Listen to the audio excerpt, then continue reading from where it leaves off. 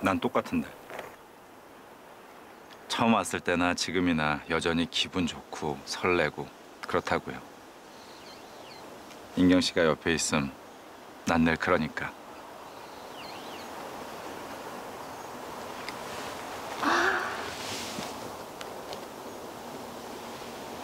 예쁘다. 그러네요. 소망 하나 더 올리게요?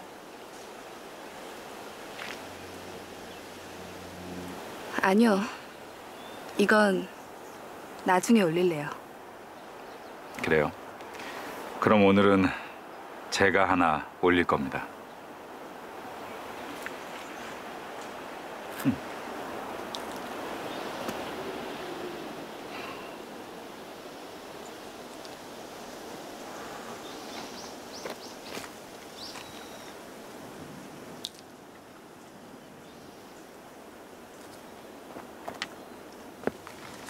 그 소원 대표님도 이루어지시면 말씀해 주실 거예요?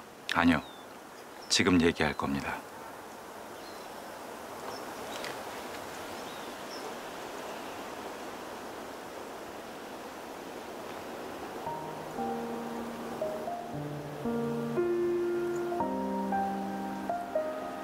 대표님, 놀라지 마요.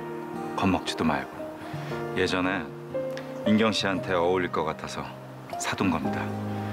언젠가 줄 수 있을 거라 기대하면서. 대표님, 저는 전 있잖아요. 알아요. 아직 인경 씨 마음이 내게 다 열리지 않았다는 거, 주저하고 있다는 거.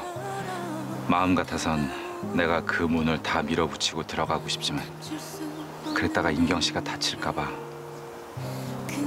여기서 기다리려고 합니다. 저는 대표님이 생각하는 것보다 더 나쁜 여자예요.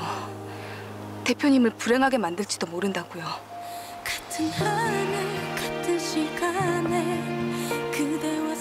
아니요. 그건 인경 씨가 틀렸어요.